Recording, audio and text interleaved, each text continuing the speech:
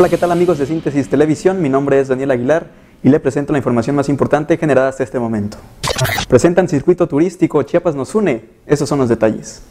La Federación Turística de Chiapas respalda un nuevo proyecto que proviene de dos jóvenes chiapanecos especialistas en ecoturismo, el cual buscará potencializar los pueblos mágicos que son San Cristóbal de las Casas, Chiapa de Corzo y Comitán de Domínguez, así como las bellezas naturales del estado. Su nombre, Circuito Turístico Chiapas nos une. Actualmente el turismo sustentable deja derrama económica tres veces más que el turismo convencional y es el de mayor crecimiento a nivel internacional. Australia y Nueva Zelanda son los países que van a la cabeza en materia de ecoturismo, mencionó Mauricio Penagos Malda, presidente de FedeTour de Chiapas. Hoy el turismo sustentable es una corriente que lleva el mayor crecimiento a nivel internacional. Y además, comentarles datos de Australia, Nueva Zelanda, que llevan el liderazgo en este tema, ¿sí? que hablan que un turista que busca la sustentabilidad de su destino turístico deja tres veces más que un turista convencional. Pero los últimos informes hablan que la gente, los turistas que buscan turismo sustentable, aún así deja un derrame mayor por todo el impacto que va a generar.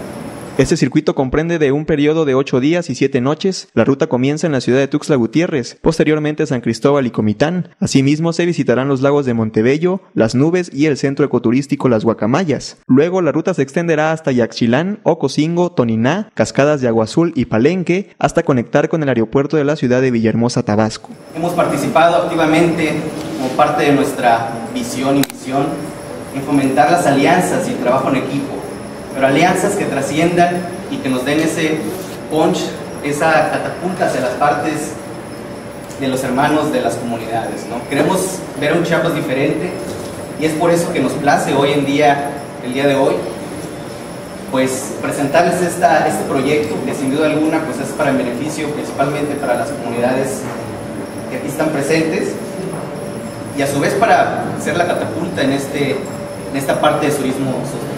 Informó para Síntesis Televisión Daniel Aguilar. El gobernador del estado, Manuel Velasco, inauguró las nuevas instalaciones de la Escuela Nacional de Protección Civil. Esta es la información.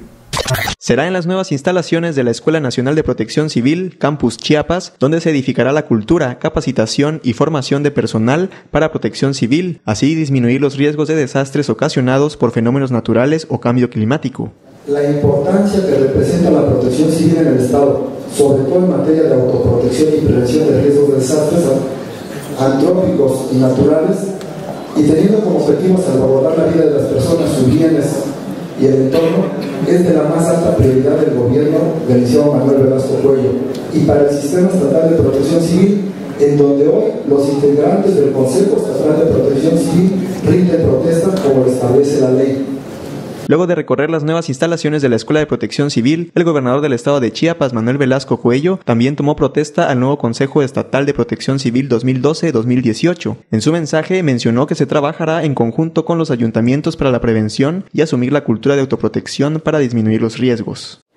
Chiapas sin duda es uno de los estados más vulnerables a los diferentes tipos de desastres sin duda alguna, por recordar solamente alguno de ellos, el que sufrimos en el año 2005 con el huracán Stan. Temblores, lluvias, incendios forestales, enfermedades, epidemias y temporales. Hoy reafirmamos aquí en Chiapas nuestro compromiso institucional en el marco del sistema estatal de protección civil y de su consejo. En mi gobierno nos proponemos asumir la cultura de autoprotección como una forma de vida, así como la capacitación a las personas de sus comunidades para disminuir los riesgos.